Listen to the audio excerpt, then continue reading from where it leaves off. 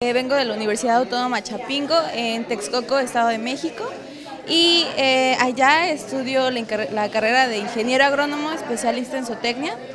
Eh, aquí estoy en quinto año de la carrera de ingeniero agrónomo.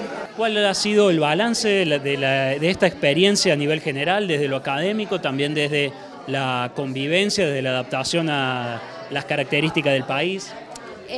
pues de manera profesional a mí me, me gustó mucho porque aquí tienen unos sistemas de producción muy distintos a, México.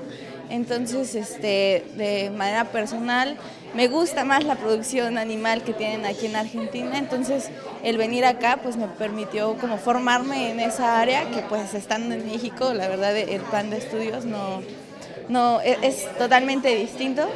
Y, pues, de manera personal, igual me ayudó eh, para conocer otros chicos de otros países que muchas veces estando allá es casi imposible acercarte a ellos o por miedo, qué sé yo.